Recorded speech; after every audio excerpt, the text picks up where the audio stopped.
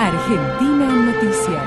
El Estado garantiza la ayuda financiera para los pequeños y medianos productores de trigo. Lo aseguró el ministro de Agricultura Julián Domínguez al presentar el programa del Banco de la Nación de financiamiento a tasa cero para ese sector productivo. Hay una zona particularmente triguera que es monocultivo, que es el sur de Buenos Aires, donde si no le generamos los instrumentos se queda fuera. No se olvide que el año pasado se produjo 7 millones y medio de trigo. Este año vamos a estar superando los 13 millones de toneladas. Lo que yo quiero es que nos ayuden a transmitir la certeza que no va a haber un solo productor que tenga necesidad de vender y tenga que rematar su producción a cuatro vivos que toda la vida han hecho negocios extraordinarios en la Argentina. Y la respuesta de algunos grupos económicos fue, nunca antes habíamos invertido tanto.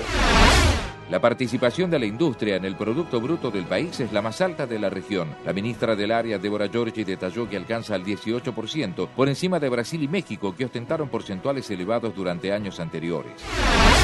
Se presentó en Pinamar el programa Salud se mueve, movete con salud. El ministro Juan Bansur recorrió los stands sanitarios instalados en ese balneario bonaerense y explicó cuáles son los objetivos que se propone la cartera sanitaria con este plan. El ejercicio físico, el movimiento, evitar eh, fundamentalmente lo que es el, sedentarismo y, y también, bueno, una acción importante de todo lo que son los promotores de salud entregando información vinculado a todo lo que tiene que ser el comer saludable, eh, en estos lugares se están haciendo controles de, glucemia, controles de colesterol, controles de presión arterial, todos los controles básicos en materia de salud, como así también el asesoramiento, guía y orientación con respecto a bueno, diferentes eh, patologías que se detecten o que consulten.